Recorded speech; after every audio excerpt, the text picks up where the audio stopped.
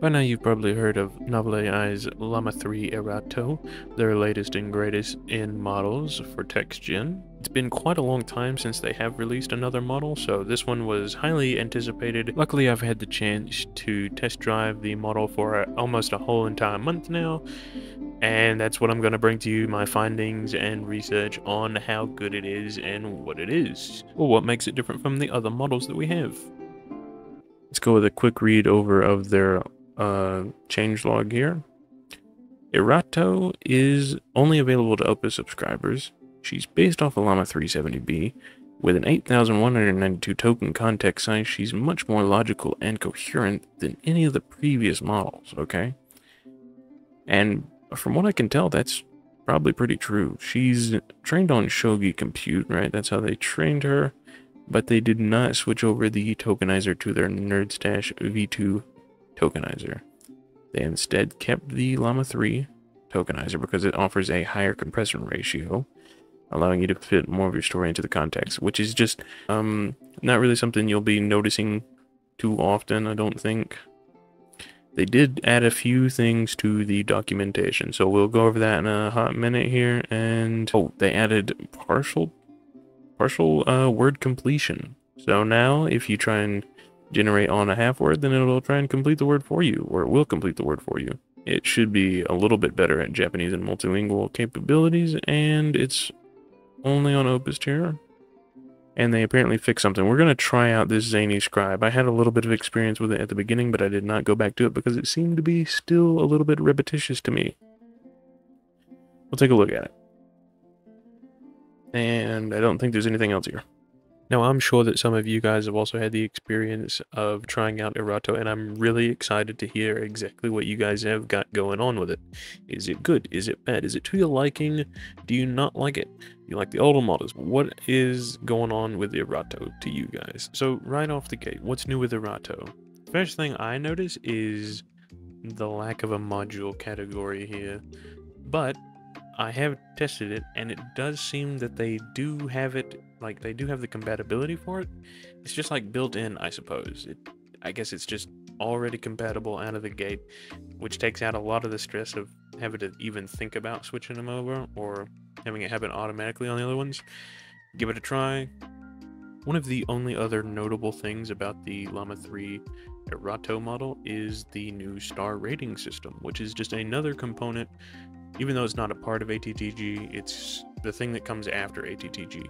Basically, it adds a set level of complexity, much like what I would do with um, Mirostat uh, in the older models, right? So this thing, I don't know exactly how effective it is.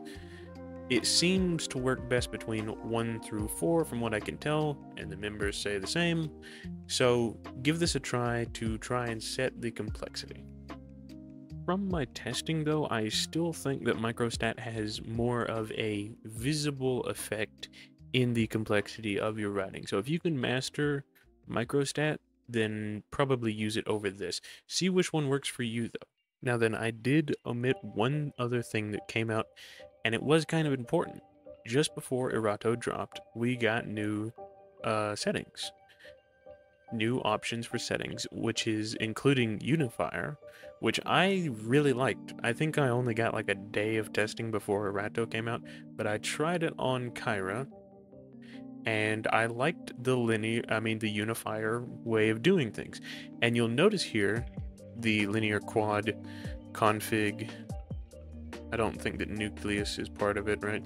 Nucleus sampling, but unified is usually just those three right here this thing came out just before it, and it's almost a part of every single one.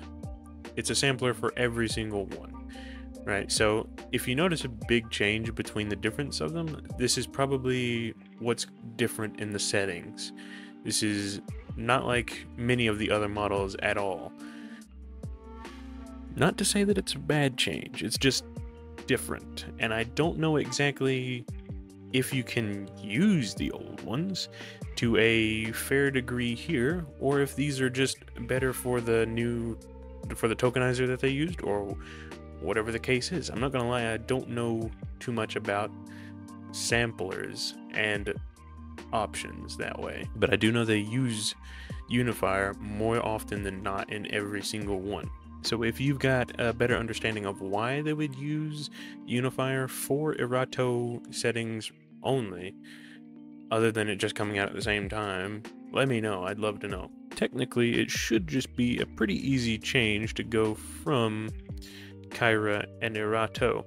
But with the tokenizer differences, there might be a bit of a struggle. Not to say that it won't work, but you might notice, you know, a, a little bit of variation in the writing style and everything as you switch over. I've heard the same thing whenever people put in a prompt from ChatGPT into here and then try and work on it with a model from here.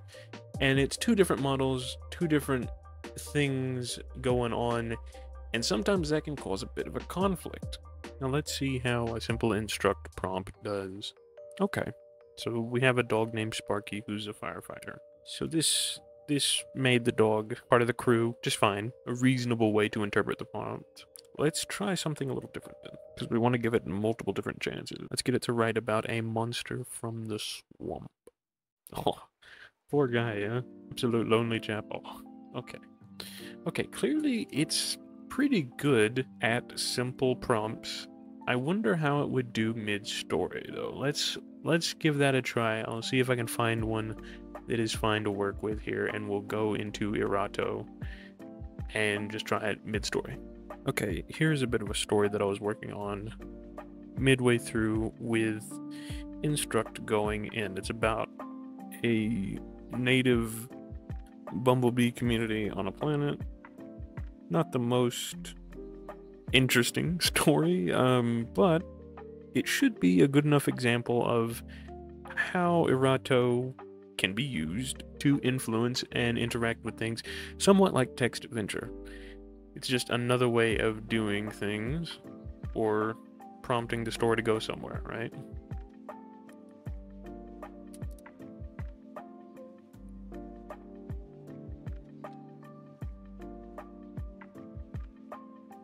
It's kind of it's kind of brand new, but it it should get the point across that it's pretty effective. It's pretty effective.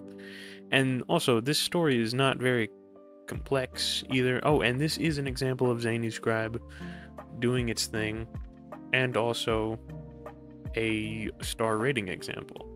Actually, this is just one of the things that I was working on with Erato, and it's been great. It's been, as you can tell, even though it's short, it's been very descriptive, maybe a few errors, but it's still, it, it, looks good. Reads good enough, you know. Maybe there's a few things here and there that aren't quite right that I would iron out later, but so far it's just been, we're setting things up, setting up a setting, setting up what the people are, how they do things, and all that good stuff. Okay, now here's my attempt at Erato with text adventure, just to give a little bit of an example, okay? This is Golden Arrow, nothing in memory. I think we did lore book. Didn't even do lore book, but we totally introduced a character to start us off here. This is what we've sort of done. We've sort of given them context for a character and it's sort of built on it as we went. As you can see, it takes to the text adventure action prompts very well, just like the instruct. And is all I had to do was turn on text adventure. There's nothing else going on here really. I'm pretty sure it's just basic, very basic. Everything is as generic as it can happen, right? And I think it went pretty darn well. Uh, just for a short little glimpse into how it's going to handle it. So if I had to guess, this is this is going to be the quality that you're getting. And so far in most of the storytelling stories that I've had, it's been perfectly fine. As you can see here, there's, you know, well, there's less blocks around, but you get the idea that uh, it's been pretty good.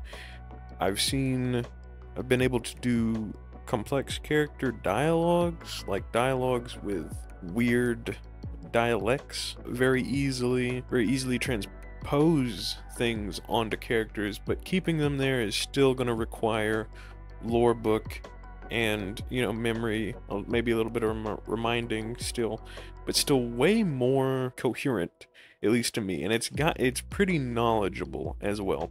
I loved one of my stories because it had a a race that was, you know, non-human and it described how they moved very gracefully, right? And it, I loved it because they were in places that I did not expect at all, and I wish I had it, but it was very good to see, and I like that. Now, from my experience with Erato so far, I've had about a month of working with it, right?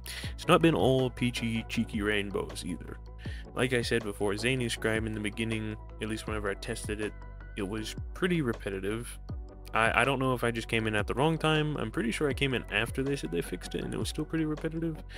So I don't know what's going on there. Maybe that was just my bad or something. There are it's a little bit it's way more coherent, right? Like it's it's way more knowledgeable, way smarter, but it's also got it's easier to mess up is what I can tell. I can tell that it's like somewhat pretty finicky a little bit. But it also works very well with the um, ATTG and the lore book.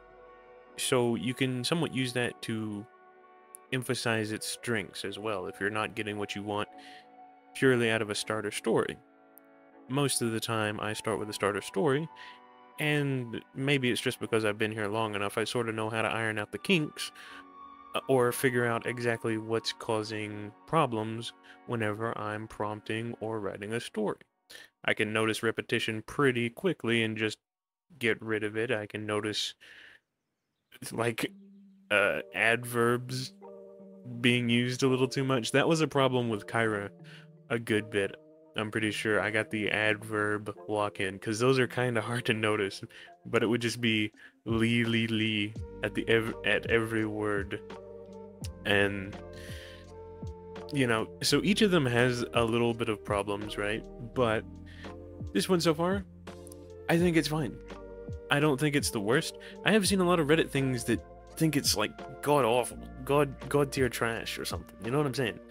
but I I hope that you can figure out how to use it and I'm always available for questions or you know trying to help you figure out how to get things done but I've seen pretty good improvement in even older stories right like stories that I would have trouble writing with Kayra or Clio or Euterpe where you know there may be something a little difficult to understand it does it pretty darn well like I used to have uh and Kayra did a good job at it. It was an all right job, but I used to have one where it was like mind linked pilot and ship in space. You guys probably saw that one a little bit. Wasn't bad at it, but I go back with Erato now, and I'm like, darn, that's pretty good. I can make it. I don't have to like iron out as many kinks, and it's more coherent. So I really do urge you to give it a try, and I hope to see you guys in the next one. Thank you for stopping by. Join the league if you care, and have a good one.